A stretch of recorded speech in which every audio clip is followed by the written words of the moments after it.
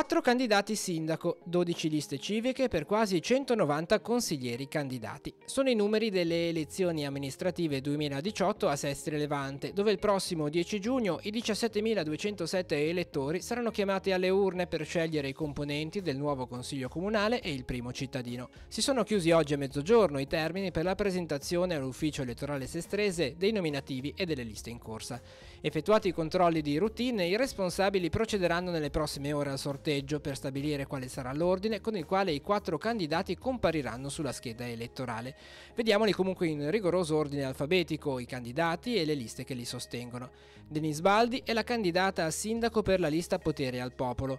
30 anni, insegnante precaria e alla sua prima esperienza politica. Giampaolo Benedetti, 63 anni, commercialista, già dipendente di Fincantieri ed ex presidente del Circolo Pescatori Dilettanti e candidato a sindaco per l'area di centrodestra. Sarà sostenuto da 5 5 liste, Lega Liguria, Riprenditi Sestri, Giampaolo Benedetti Sindaco, Futuro Migliore se gesta domani.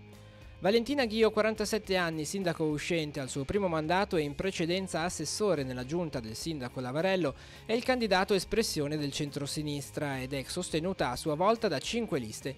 Valentina Ghio sindaco, Viviamo Sestri, Sestri al centro con Calabrò, Sinistra in comune, Cristiani riformisti. Fabio Sturla, 38 anni, dipendente della Fincantieri, è il candidato a sindaco del Movimento 5 Stelle.